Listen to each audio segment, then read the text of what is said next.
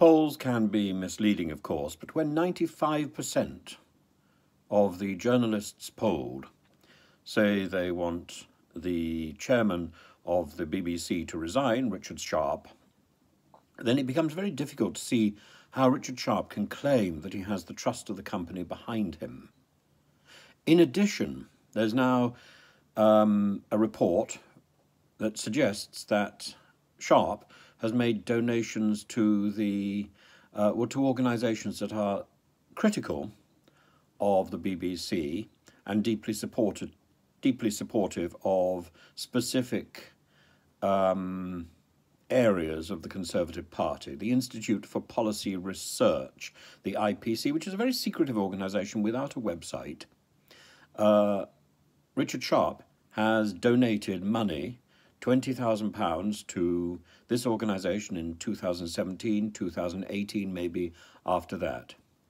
This organisation was deeply critical of the BBC's coverage of Brexit and also promotes the idea of the privatisation of Brexit. Now, it's not to say that uh, Mr. Sharp endorses the ideas of the IPC, IPR.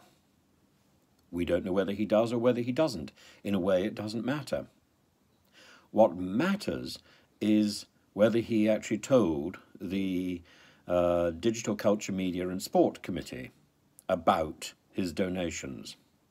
Did he tell the BBC when he was appointed about his donations to organisations which are critical of the organisation that he is now running?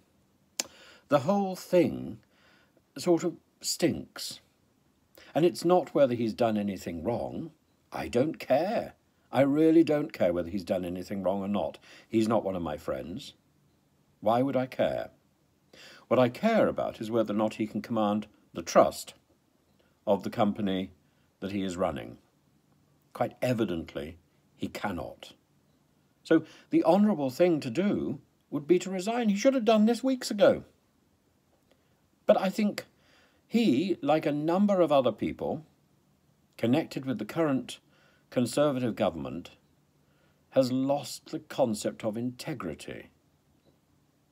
Maybe he thinks his own position is more important than the authority of the government.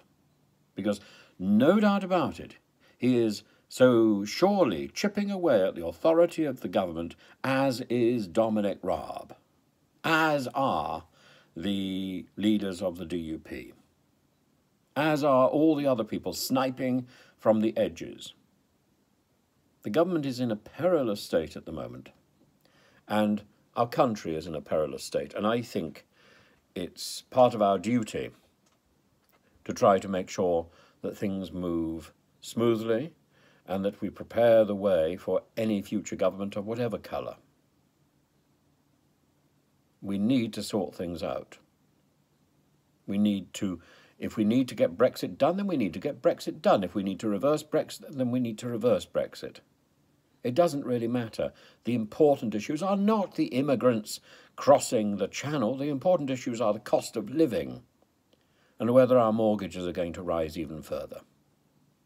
Those are the important issues that concern ordinary people, Mr. Sunak, not immigrants crossing or not crossing the channel, and certainly not playing around with rhetoric like Suella Braverman. Indeed, I imagine the only thing that really concerns Suella Braverman at the moment is whether or not she's going to have a seat for the next election. That's assuming she can actually win the seat.